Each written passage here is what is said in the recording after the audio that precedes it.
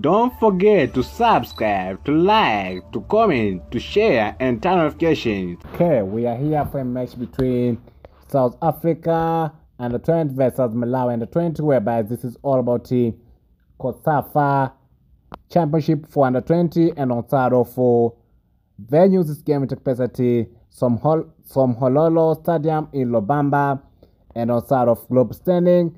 South Africa under 20 and Malawi under 20 belong to Group C, the same group with Namibia under 20 and Comoros under 20. No need to focus on Group Standing because there's no pointing, no match played.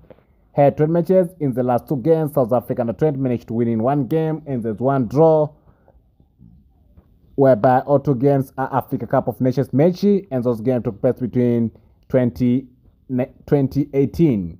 Last matches for South Africa win under 20. In the last game, South Africa under 20 managed to win in two games, two draw, and one loss. That's a good performance from South Africa under 20. And on side of five this on these five games, all five games are COSAFA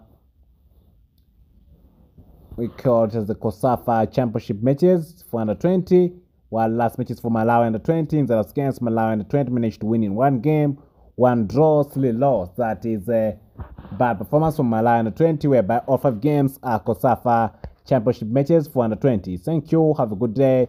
Don't forget turn notification for more.